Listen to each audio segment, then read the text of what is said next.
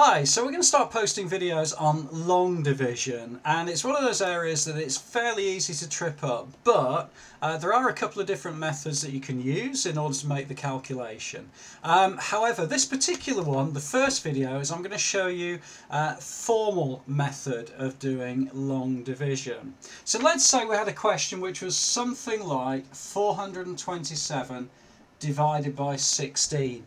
In other words, what we're saying is how many lots of 16 are there in 427? We could actually write this as 427 over 16 or divided by 16 it means exactly the same thing so if it's presented as a fraction what we're going to be doing is changing that to a whole number and then a little bit that's left over and the way that we do that is to use um, the bus stop method. Looks a little bit like a bus stop and it's just a, a way of representing the short division calculation. And the thing that we do then is we say how many lots of 16 are there in 4. So you can see the 4 there. Um, well, actually, there aren't any. We can't, if we have a group of four, so we have four sweets, and we try to take 16 sweets away, we, we can't do that. So what we have to do then is move that 4 over to the 2 and say how many lots of 16 are there in 42. Okay, well, the whole area with long division really is to use your own multiplication and estimation skills.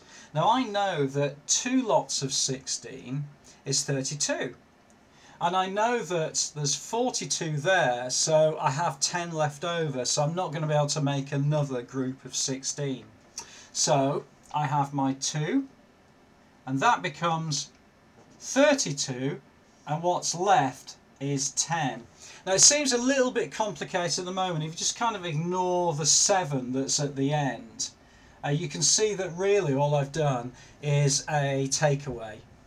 I have 10 there and what I'm going to do now is just to recognize that I've got to deal with that 7 so I'm going to bring that 7 down. And now my calculation is how many lots of 16 are there in 107 okay well again it's my own estimation skill now if I if I look at 16, if it was 10 lots of 16 it would be 160 which would be too much. If it was 5 lots of 16 it would be half 160 which is 80 which would be too little.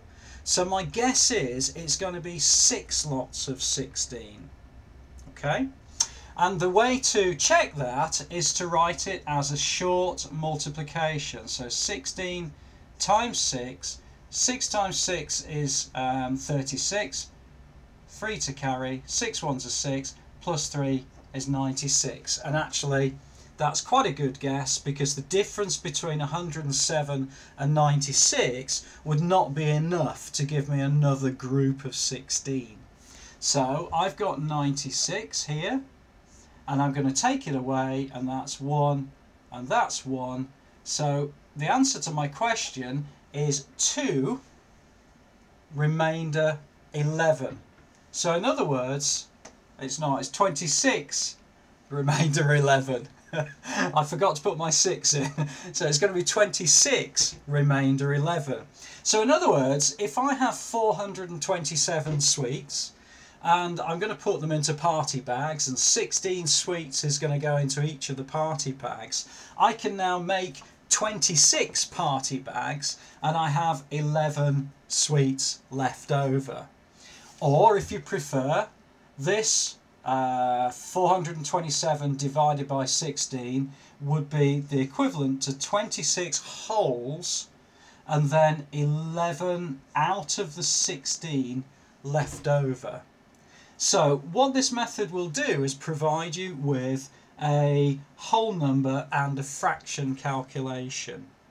Now what I can do then is if I prefer I can carry on and change that to a decimal calculation. And what I'll do is I'll post another video about that particular one using the same calculation. And you can see the equivalent. And really what we're doing is we're actually working out the decimal equivalent of 11 sixteenths because we know it's going to be 26 whole ones and then 11 sixteenths as a decimal equivalent.